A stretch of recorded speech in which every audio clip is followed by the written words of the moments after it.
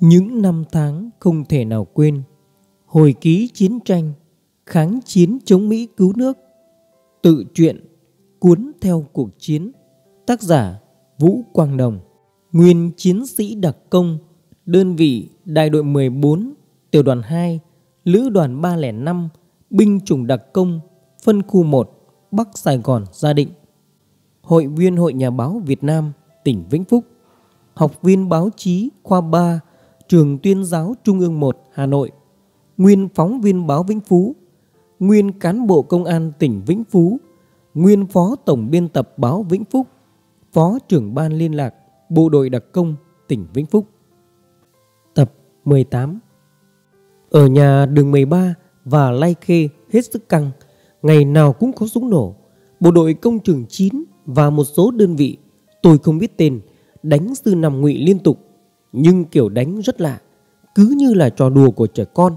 Hai bên vẩn nhau Không đánh to Mà chỉ dấm dứ nhau cả ngày lẫn đêm. Sau này chúng tôi mới biết Công trường 9 có nhiệm vụ nghi binh Làm như sẽ tấn công Lai Khê đến nơi Nhằm kéo sự chú ý của địch Để chúng không đi tiếp viện ở đâu được. Đơn vị chúng tôi cũng tổ chức đánh được 8 trận với bọn biệt động quân sư 5. Tổ cổ Thái bắn được một xe M113, tổ cổ kính bắn được một xe GMC chở quân. Các trận khác đều là bẫy mìn nhưng không đếm được số địch bị loại khỏi vòng chiến. Tuy vậy các tổ cổ kính, Tâm, Khải và kể cả tổ anh Tư đều có người bị thương phải chuyển phía sau. Đơn vị thiếu mất 6 tay súng bởi vậy chúng tôi về là rất hợp lý. Theo tin của cơ sở, địch ở trong Lai Khê và các chốt tiền tiêu quanh căn cứ đã bắt đầu biết sợ. Mật độ tuần tra tăng lên đến mức gay gắt hơn. Chỉ còn bọn biệt động quân và một số đơn vị không biết thuộc binh chủng nào vừa được bổ sung là còn hung hăng. Ở Bến Cát, một số gia đình thu vén đồ đạc chạy về thủ dầu một. Còn ở thủ dầu một có hiện tượng dân chạy về Sài Gòn. Trên đường 13 xuất hiện lính ngụy trà trộn trong dân, di tản.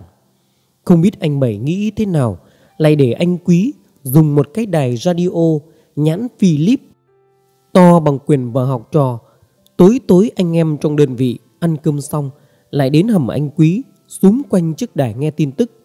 Thế rồi không biết bằng cách nào anh Diệm và tổ trưởng Kính cũng có một chiếc đài nho nhỏ ta vẫn quen gọi là đài tâm lý chiến, cũng mở nghe được tin chiến thắng trên đài tiếng nói Việt Nam. Có đài của Diệm, anh Hữu dò được cả sóng đài Sài Gòn hát nhạc vàng. Lúc bấy giờ tôi mới biết ca sĩ Thành Tuyền hát rừng lá thấp, ca sĩ Chế Linh thành phố buồn, còn Duy Khánh đưa em vào hạ. Bởi ý thức cảnh giác, anh Bảy đến từng hầm nhắc nhở mọi người. Anh em đều chấp hành đưa radio xuống hầm để âm thanh bứt vọng xa. Bệnh chủ quan khinh địch có dấu hiệu lan truyền trong đơn vị, rất tai hại. Về cứ được 3 ngày, tôi định sang ngày thứ tư xuất kích. Định bụng sẽ dò dẫm bầy trận địa mìn trước cổng căn cứ Lai Khê như mọi lần. Nhưng buổi tối ngày thứ ba, liên lạc Minh đến báo anh Bảy, anh Quý cho gọi. Tôi lật đật sách súng đến nhận nhiệm vụ. Trong đầu chắc mẩm là sẽ được đi bẫy mìn, nhưng đến nơi thì không phải. Trong hầm anh Bảy có anh Quý và hai người lạ mặc quần áo bộ đội chủ lực. Tôi chào các anh xong, anh Bảy giới thiệu ngay. Đây là hai trinh sát của miền. Một anh giới thiệu tên là Thông, anh kia tên là Tiến, muốn tìm hiểu về Đông Du. Tôi hiểu ngay việc và xin gọi thêm anh Hữu, người đã vẽ được sơ đồ Đông Du. Anh Bảy đồng ý. Một lúc sau, anh Hữu đến. Các anh trinh sát miền Giờ tấm bản đồ đồng Du ra Chúng tôi nhận ra ngay Đó là sơ đồ chúng tôi vẽ Chỉ có điều được phóng to hơn lên mà thôi một số chỗ được vẽ thêm Những nét ngoằn ngoèo Chắc là mới bổ sung. Hai anh em tôi lần lượt trình bày về hình thái phòng thủ của đồng dù. Các anh trinh sát miền chăm chú nghe. Anh Tiến cầm cụi ghi chép. Thỉnh thoảng các anh hỏi lại một vài chi tiết. Chúng tôi lại phải giải thích. Anh Hữu tỏ ra là một thầy giáo trình bày rất rõ ràng, ranh mạch. Anh trinh sát tiên tông hỏi chúng tôi, theo các đồng chí tiến theo hướng nào thuận lợi? Anh Hữu trả lời ngay, nhìn trên bản đồ đồng dù nằm giữa các trục lộ 237, 8A, đường Hai Làng, quốc lộ 1 và con suối lớn. Sau này mới biết tên con suối đó là Bà Cả Bảy dẫn tới căn cứ Trung Hòa, lại được thị trấn Củ Chi án ngữ. Chúng em chỉ đi điều nghiên một mình nên thâm nhập từ phía đông bắc. Nơi đó trống trải là những ruộng lúa và sinh lầy rất khó vượt. Nhưng với lực lượng tấn công đông thì chỉ ở hướng có rừng cao su, vùng xã Phước Hiệp. Căn cứ này rất rộng, các ổ hỏa lực đề kháng dày đặc, các lớp rào cài rất nhiều loại mìn.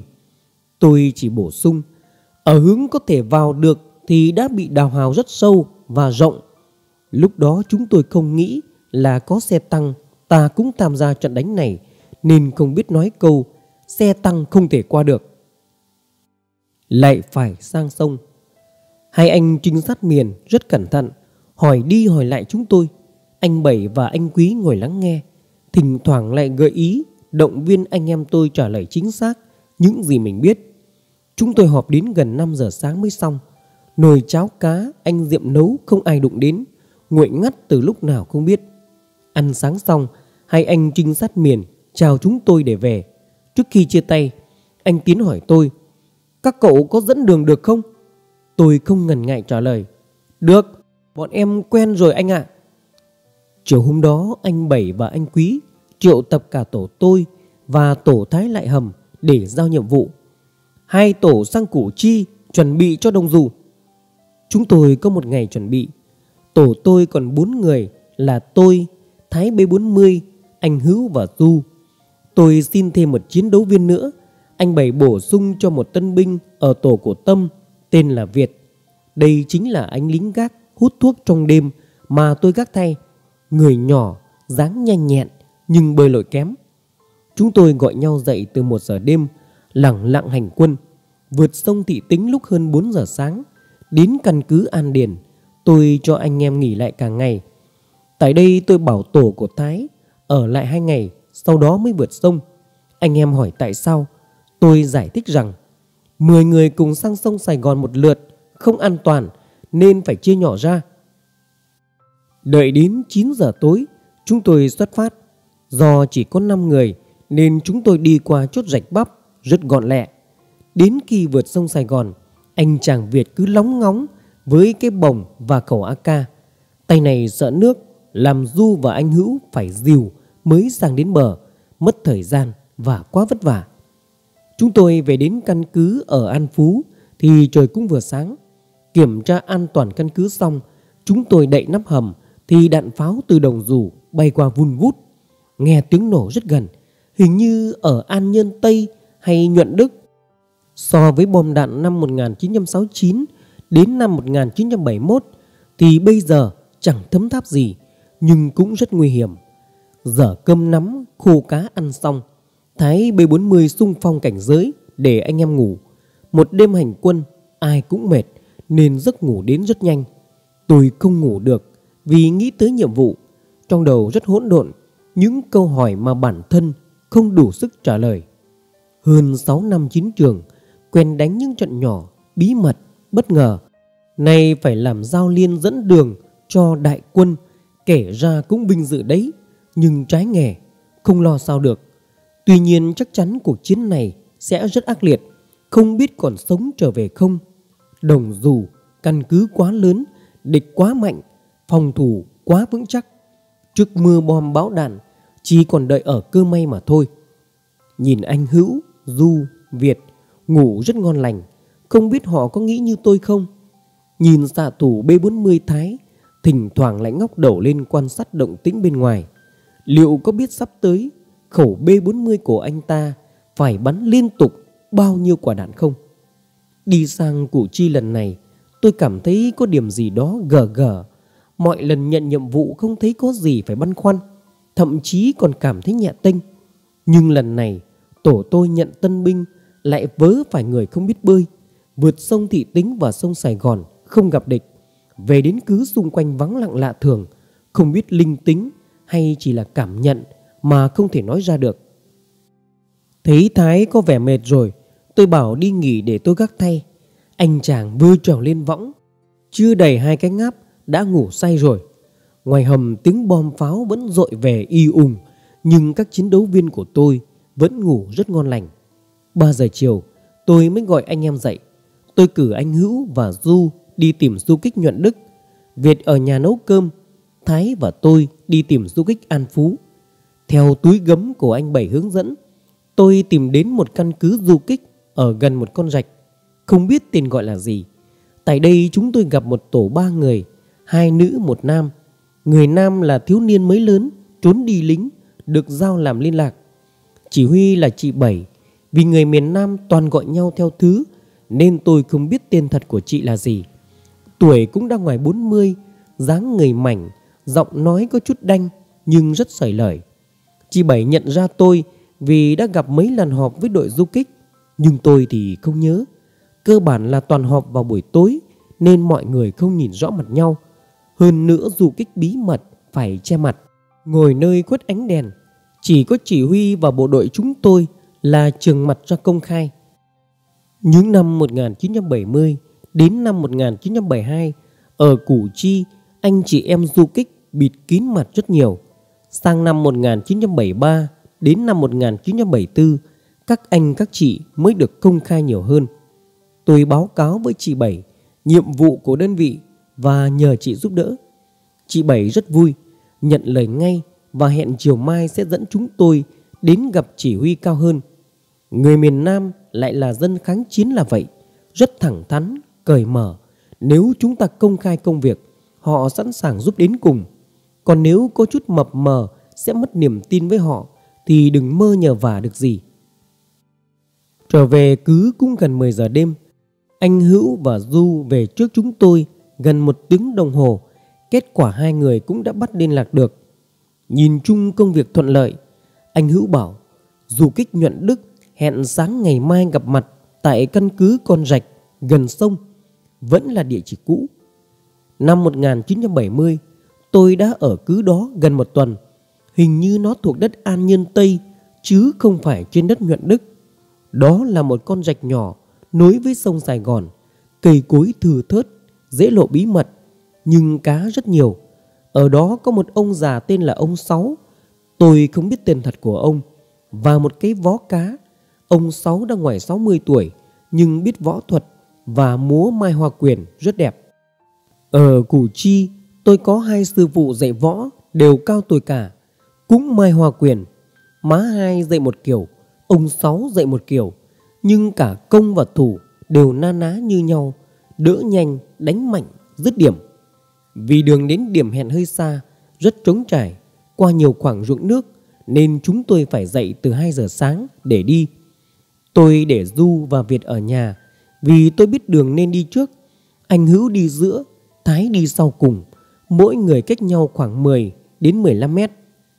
Thời còn Mỹ phải đi theo kiểu này, nếu bị biệt kích phát hiện, người đi đầu chấp nhận hy sinh, có súng nổ người thứ hai sẽ nổ súng lại và người thứ ba dùng B40 bắn để lấy lại thế cân bằng. Trong lúc B40 khai hỏa, người thứ hai sẽ bỏ lên xem người thứ nhất bị thương hay hy sinh để lấy xác về. Điều kinh sợ nhất của lính Bắc là không thuộc địa bàn. Trước có anh em miền Nam dẫn đi, tôi đã được giới thiệu xã, làng, ấp, nhưng đầu óc không thể tập trung nhớ các địa danh. Vì thế nếu có đồng đội hy sinh đem chôn cũng không thể nhớ được chính xác địa điểm.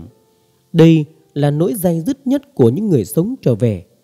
Kinh nghiệm là vậy, nhưng nhiều trường hợp, nhất là với tân binh, có súng nổ bất ngờ sẽ nằm rạp xuống, dương súng lên xít cỏ lên thanh, rồi quay đầu chạy thục mạng.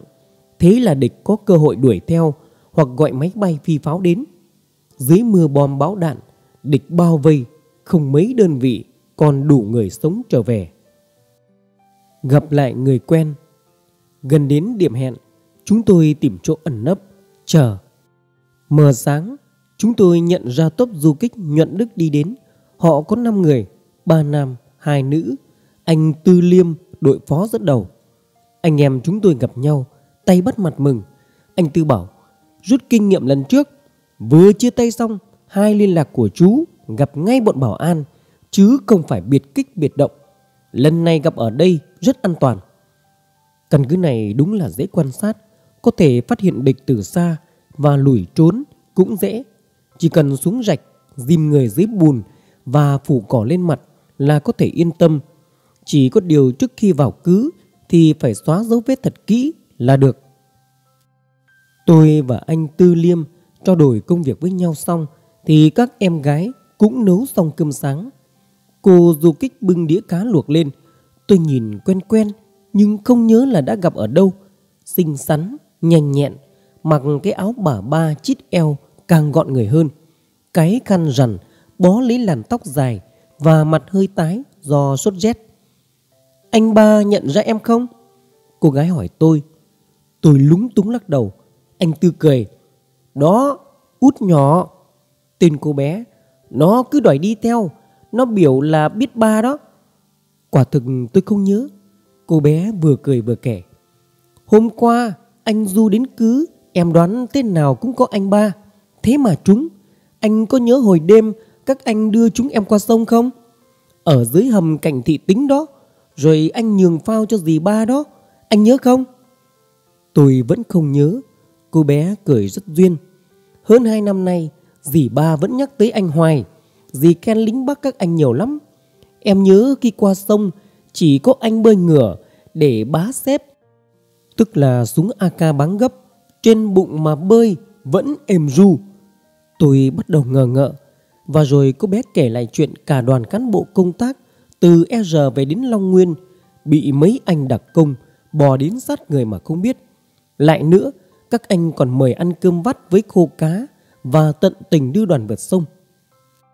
Từ năm 1970, theo lệnh anh Bảy, tổ tôi cắm chốt ở Long Nguyên, An Điền. Chẳng biết cấp trên cố ý hay vô tình giao cho chúng tôi nhiệm vụ đưa và bảo vệ các đoàn cán bộ công tác qua sông Thị Tính và Sài Gòn. Chỉ có hai lần của năm 1970, chúng tôi gặp địch phải nổ súng chiến đấu, còn lại đều qua sông chót lọt. Nhiệm vụ không khác gì người đưa đỏ, qua sông ai nhớ được hết khách. Và cô bé tả về căn cứ, nơi ở của chúng tôi vanh vách, giúp tôi dần nhớ lại lần gặp nhau đó. Mọi chuyện vỡ òa khi anh chàng Thái nhận ra cô bé, khiến tôi xúc động. Anh Tư giải thích, nó là con gái anh, Lần đó út nhỏ đi dự đại hội chiến sĩ thi đua về, được các em giúp đỡ, nó vẫn nhắc chuyến đi đó mãi. Mấy lần anh em đặc công về đây, nó đều đòi đi theo, hy vọng gặp lại người quen, không ngờ lại là ba, hay thật. Tôi hỏi, trong đoàn ngày ấy các anh chị khỏe cả chứ? Út nhỏ đáp, chỉ có anh Sương, Phú Lợi, anh cán bộ đeo súng ngắn, trông rõ oai hy sinh, còn lại vẫn nguyên. Khi nào rảnh em đưa anh ba đến gặp dì ba nhé. Dì bây giờ ở lái thiêu, em sẽ báo tin để gì mừng. Cuộc gặp gỡ tình cờ khiến tất cả anh em đều rất vui mừng. Thì ra cô bé này lập rất nhiều chiến công, thật lợi hại. Tôi nghĩ thầm như vậy. Trước khi chào mọi người ra về, tôi hẹn anh Tư Liêm sẽ gặp lại bàn tiếp chuyện phối hợp nhỏ chốt. Không biết anh chàng Thái nói chuyện với út nhỏ những gì. Hai người chia tay nhau có vẻ lưu luyến. Về đến căn cứ trời vừa tối, tôi, Thái và Du ăn vội bắt cơm cá mắm rồi học tốc đi gặp du kích An Phú. Đúng hẹn, chị Bảy đưa chúng tôi vào căn cứ của đội du kích cũng gần với sông Sài Gòn. Không biết phía dưới có địa đạo không, nhưng về địa thế, đặt căn cứ này ít người, nghĩ là an toàn. Từ đây nghe được tiếng cano giang thuyền của địch ở sông rất rõ. Nếu bọn thủy quân lục chiến đổ bộ lên bờ, căn cứ này không tránh khỏi bị lộ. Nhưng thôi, đó là suy nghĩ. Còn thực tế, dù sao ở đây cũng tạo được sự bất ngờ. Chị Bảy đưa chúng tôi đến một căn hầm đang có ba, bốn nam nữ du kích ngồi ở cửa hầm nói chuyện với nhau. Tán dóc thì đúng hơn. Chúng tôi hơi ái ngại, nhưng các anh, chị du kích thấy chúng tôi đến liền đứng dậy nhường hầm luôn. Họ đến một căn hầm khác, cách đó không xa lắm. Chúng tôi ngồi trên cửa hầm đợi, cũng phải đến gần một tiếng đồng hồ sau mới thấy người chỉ huy về cùng với ba du kích nữa. Đó cũng là một phụ nữ, tuổi chắc cũng tương đương chỉ bảy. Vừa trông thấy chúng tôi, người phụ nữ đó nói, cậu ba đấy phải không? Tôi bị bất ngờ vì tối trời chưa nhận ra người phụ nữ đó là ai. Hình như biết tôi bị bất ngờ và lúng túng nên chị Bảy đáp thay. Chị hai, cậu ba về rồi đây nè. Người phụ nữ tên là chị hai đó bước lại gần nhưng tôi vẫn chưa nhận ra. Chị Bảy nói đỡ. Xuống hầm nói chuyện. Chúng tôi xuống hầm. Ánh sáng đèn cầy lập lòe khiến tôi càng bối rối bởi người phụ nữ gọi là chị hai đó bịt mặt kín mít. Khi tất cả đã yên vị, chị hai mới mở căn ra cười. Lâu không gặp, cậu ba quên chị rồi sao? Tôi ngỡ ngàng và nhận ra là chị Hai Hạnh, người dẫn tôi vào đồng dù năm 1970. Tháng 5 năm 1970, anh Bảy Nghiệp đưa tôi và anh Tư sang Củ Chi để điều nghiên căn cứ đồng dù. Anh Bảy liên hệ với đội du kích An Phú. Ngày ấy, do một người đàn ông lớn tuổi chỉ huy, ông thứ 8 nên gọi là ông Tám. Ông Tám là cán bộ miền Nam tập kết, trở về Nam từ năm 1963, lúc phong trào cách mạng Củ Chi đang lên cao.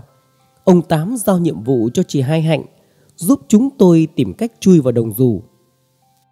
Cuối năm 1970, ông Tám hy sinh, đội du kích lâm vào khó khăn. Không biết trong nội bộ có nội gián không mà đội đi đến đâu bị địch đuổi theo đến đấy. May là tổ chiến đấu của chị Hai Hạnh giữ được bí mật, bám trụ và bảo toàn lực lượng đến bây giờ. Hai chị em gặp lại nhau mừng vô kể. Chị Hai hỏi thăm anh Bảy Nghiệp và đơn vị. Chị bảo, Hôm qua chị Bảy thông báo cậu về, Chị mừng hết sảy. Cần gì cứ nói, Chị sẽ giúp hết cỡ, Không ngán gì hết. Tôi biết tính chị hai Rất thẳng, Đến anh Bảy cũng phải nể nữa là. Bởi vậy tôi báo cáo Và đề nghị chị giúp. Nghe tôi trình bày xong, Chị hai cười, Những hang chuột chị nhượng lại cho cậu, Hết tác dụng rồi sao? Ý chị nói là những cửa rào để vào đồng dù Mà chị giao lại cho chúng tôi. Tôi đáp, Chúng em mới dùng được hai thôi, Còn một em không nhớ, Không biết còn không? Chị hai lắc đầu, Cậu vẫn chứng nào tật nấy, Phải linh hoạt đi em. Thôi, đêm mai đi với chị. Tôi mừng quính, Dù biết địch lắp thêm nhiều lớp rào, Tăng thêm nhiều loại mìn Và lỗ châu mai dày đặc. Nhưng chúng tôi vẫn phải cố gắng Làm sao vẽ được bố phòng bên trong hàng rào. Việc anh bảy giao có thế thôi Vì đêm đã về khuya nên tôi xin phép về để chuẩn bị. Chị hai dặn, chiều mai vẫn ở chỗ cũ nhé. Tôi chỉ biết nói vâng mà thôi. Gió ngàn vẫn thổi, trở lại đồng rủ Một ngày chờ đợi dài lê thê, may mà có tiếng đạn pháo từ đồng rủ bay ra xé gió, tiếng cánh quạt trực thăng phành phạch, ầm ĩ, mệt mỏi trên trời. Và thỉnh thoảng lại nghe thấy tiếng đại liên mã lai bắn loạt dài nên cũng đỡ sốt ruột. 5 giờ chiều, tôi và Thái đến điểm hẹn. Chị hai và một nam du kích gọi là Năm, cũng không biết tên, đã đến từ trước. Chúng tôi đi qua An Nhân Tây, tập kết tại một căn hầm sát một ngôi làng bị bỏ trống. Ở đây có hai nam du kích chốt đón. Nghỉ một lúc, hành quân tiếp khoảng hơn 2 giờ sáng, chúng tôi đến gần đồng dù. Đèn điện, pháo sáng, đèn pha sáng trưng Chị hai bảo chỉ có hai chị em bò vào, còn Thái và năm cảnh giới. Cũng phải mất hơn một tiếng đồng hồ, bò rất chậm để qua bãi trống trước hàng rào. Hai chị em mới đến chân hàng rào thứ nhất. Chị hai nhẹ nhàng gỡ rào và ra hiệu bảo tôi lên cùng. Đúng lúc đó đợt đèn pha bật sáng, pháo sáng thi nhau bắn lên trời. Cả một vùng đất sáng như ban ngày. Chúng tôi vội nằm im đợi. Một lúc sau, đèn pha thôi soi pháo sáng cũng liệm dần. Màn đêm lại trùm xuống. Sau khi đánh dấu cửa vào chúng tôi nhẹ nhàng rút. Trên đường về chị hai không nói câu nào chỉ lầm lũi đi. Tôi cũng phải chạy theo vì bước chân ngắn quá. Về tới cứ tập kết trời cũng mờ mờ sáng. Bưng bát cháo cá do mấy em du kích nấu đậm đà làm sao. Cầm bát cháo xoay xoay cho nguội cháo nóng húp quanh mà chị hai nói Cậu ba thấy thế nào? Chúng nó cành chặt thế, làm sao dô đặng? Tôi đáp, không sao đâu chị, em chỉ muốn xem cửa vào còn hay không thôi. Như vậy nơi ấy vẫn an toàn, chị ha. Chị hai, ừ, vẫn an toàn, nhưng cậu tính sao? Dô tiếp à? Dạ, em định tối mai dô. Tôi đáp, Cẩn thận nhanh, cách đây nửa tháng, mấy anh trinh sát e RV về, chị cũng dẫn họ đi xem, nhưng họ không dám dô Họ bảo phải dùng pháo mới giọng nát được căn cứ này. Em cũng tính thế, nhưng không biết trên định thế nào. Bây giờ cứ đi xem đã chị ạ. Chị nghĩ không cần nữa, sơ đồ ta đã có, dù tiếp cũng chỉ là xem thôi. Chúng bố phòng quá chặt, nguy hiểm lắm em. Dạ chị, tôi chỉ dám vâng dạ thôi, bởi với các anh chị em du kích củ chi, bao năm bị địch đánh phá, vây càn và bức ép đã dày dặn kinh nghiệm. Những lời khuyên của họ đều được đúc kết bằng máu chứ không phải nói sách vở. Còn chúng tôi thì cũng vậy, quá nhiều bài học đắt giá rồi, chỉ có điều lệnh của anh Bảy nhất định phải tuân theo. Húp xong bắt cháu cá, trời cũng đã sáng hẳn, tiếng động cơ trực thăng đã khuấy động cả vùng trời, nhưng tôi vẫn xin phép chị hai về nhà. Thái không muốn về, cứ dùng rằng với mấy em du kích. Tôi và chị hai nhìn cảnh chia tay bịn rịn của các chiến sĩ chỉ biết lắc đầu và cười. Làm chỉ huy, đôi lúc gặp những tình huống tế nhị như thế này cũng khó xử thật. Vượt qua chặng đường trống trải, vừa đi vừa chạy. Gần trưa, chúng tôi cũng về đến nhà. Việt báo cáo, tổ trưởng Thái đã đưa anh em về đến cứ, tất cả đang nghỉ. Tôi bảo, để họ ngủ cho lại sức, tối sẽ tính tiếp. Tôi dặn Việt, anh em cứ ăn cơm đi, đừng gọi anh. Rồi lên võng, đánh một giấc đến gần 5 giờ chiều mới tỉnh dậy. Chúng tôi đang ăn cơm chiều thì chị Bảy dẫn ba anh bộ đội chủ lực đến cứ. Theo giới thiệu, các anh là trinh sát sư đoàn 320, mục tiêu cũng là đồng dù. Tổ trưởng ba trinh sát này nói tên là Thực, người rong ròng cao, da mặt tay tái, chắc vừa sốt rét dậy. Chúng tôi mời các anh, các chị ăn cơm cùng, thì chị Bảy và cô bé du kích đi cùng, xa vào mâm ngay. Còn mấy anh trinh sát từ chối, họ dở lương khô ra ăn, kể ra quân chủ lực nên cũng có vẻ quân kỷ, quân phong ra phết. Hơn 6 giờ tối, tôi, Thái và ba trinh sát chủ lực xuất phát. Một giờ đêm, chúng tôi đến điểm tập kết. Cũng như đêm qua, tôi để Thái ở lại canh chừng. Một trong ba anh trinh sát đi vào cùng tôi. Anh trinh sát đi cùng tôi, hình như tên là Vân hay là Vận hay là Vấn. Tiếng miền Trung nghe rất khó. Chúng tôi bò thận trọng qua bãi trống đến cửa rào và cũng phải nằm im khi có pháo sáng, đèn pha và đạn thẳng bắn vu vơ của địch. Đây là đồng dù, không phải là sân khấu mà diễn kịch. Vì tôi biết đường nên lách rào bỏ trước. Anh trinh sát 320 theo tôi, nhất cử nhất động. Đêm tháng tư sắp bước vào mùa mưa nên không khí trời đêm ngột ngạt. Vượt được ba lớp rào thì phải dừng lại vì địch vừa rào thêm. Chúng tôi không đủ thời gian mở tiếp, đành phải rút ra cho lẹ. Hai chúng tôi trở lại với bãi sình và ngâm người dưới lớp bùn. May mà có những bụi cây thấp che mát cho, không thì cảm nắng cũng chết. Nằm dưới sình cả ngày rất bực bội, nhưng vẫn phải chịu đựng. Ngay còn ở miền Bắc, học đến khoa mục này ai cũng sợ. Vì ngâm trong bùn một lúc, đỉa đã bám đầy người. Nay ngâm bùn mà địch đang ở rất gần, sống mới quan trọng, chứ vài con đỉa bám không là gì hết. Chẳng hiểu vì sao bọn địch lại không để ý tới bãi sinh này.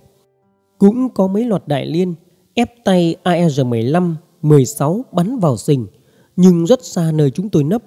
Ngâm trong bùn cả ngày, chúng tôi nơm nớp, sợ vô ý gây ra tiếng động hay làm cây lá bị rung nên nằm im. Ở đây mà bị lộ, chắc không có chỗ chôn. Thời gian trôi chậm chạp vô cùng. Thế rồi tối cũng đến. Khoảng hơn 8 giờ, Thực ra là lúc đó chỉ có cảm giác an toàn Chúng tôi lại bò lên bờ Nhanh chóng gột bùn Bám vào người Nằm im hong gió đợi bùn khô bớt mùi tanh. Đến khoảng 2 giờ sáng Lại tìm nhập tiếp. Tôi vẫn bỏ trước Rẽ dây kẽm gai và gỡ mìn. Pháo sáng đèn pha Vẫn liên tục đe dọa. Mấy thằng lính trên tròi canh Thỉnh thoảng lại bắn vài loạt AR-15 16 U Đại Liên Mã Lai ở gần cửa vào của chúng tôi thỉnh thoảng là một loạt như chó rổ hú. Mỗi đêm qua được một lớp rào, ngày ngâm sình, tối mỏ lên rẽ rào tiếp, và chỉ được làm đến 3 giờ sáng là phải xóa dấu vết để trở ra.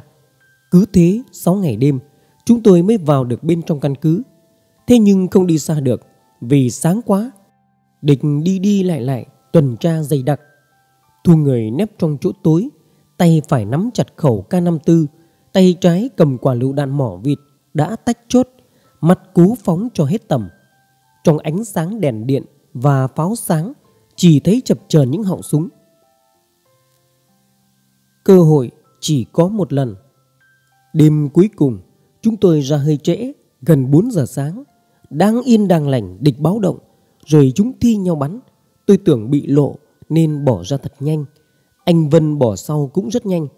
Chúng tôi chuyển qua bãi sình và men theo các bờ ruộng để thoát thân. Đúng là thần hồn nát thần tính. Bọn địch ở hướng chúng tôi bò vào chỉ bắn mấy loạt cho vui thôi. Còn các hướng khác có lẽ chúng phát hiện có trinh sát đột nhập. Chạy được một đoạn cũng xa xa, anh em chúng tôi dừng lại để nghỉ, ngồi thở dốc cho hoàn hồn. Tôi mới chợt nhớ mình đã bỏ sót mấy lộ tiêu ở hàng rào thứ tư. Nhưng sáng mất rồi, không thể vào lại được. Đành vậy thôi, cũng có thể hàng rào dày đặc mìn, bọn ngụy sẽ không để ý. Nghỉ xong, chúng tôi tiếp tục chạy về điểm tập kết. Ở đó anh em đang đợi. Chúng tôi gặp lại nhau rất mừng, nhưng vì sợ bị lộ nên tôi dục các anh rút nhanh. Thế là ba anh chủ lực chạy cũng nhanh. Tôi và Thái vướng B40 nên lóc cóc theo sau, suýt bị các anh 320 dẫn sai đường. Chúng tôi về đến căn cứ của du kích An Phú khoảng hơn 8 giờ sáng. Đây là căn cứ chúng tôi giao hẹn khi trở về. Địch bắt đầu dùng pháo bắn tam toạng. Khi còn quân Mỹ gọi là pháo đĩ, rất khó chịu. Nhìn thấy bọn tôi nhếch nhác chạy về, chị Bảy vội gọi mấy anh em du kích ra đón vào cứ. Không biết có phải đoán được chúng tôi sẽ về không. Anh em ở đây đã nấu sẵn nồi cháo cá. Chị Bảy vội chia cho chúng tôi và dục húp nhanh để lấy lại sức. Đang mệt, được bát cháo, cho thêm ít muối mặn mặn một chút, quả là có tác dụng, hồi sức rất nhanh. Ngồi thở một hồi cho khô mồ hôi, chúng tôi đi tắm, gột bùn, đang ngâm mình dưới rạch, nghe tiếng phành phạch của cánh quạt. Một đàn 6 đến 7 chiếc trực thăng bay thấp lướt ngay trên đầu. Kiểu bay này, chúng sẽ đổ quân ở bên kia sông, không biết ở đâu. Điều gì sẽ diễn ra sau đó? Mời quý vị và các bạn tiếp tục theo dõi cuốn theo cuộc chiến ở tập sau. Quý vị nhớ đăng ký kênh để không bỏ lỡ những video mới nhất. Cảm ơn quý vị và các bạn đã quan tâm theo dõi.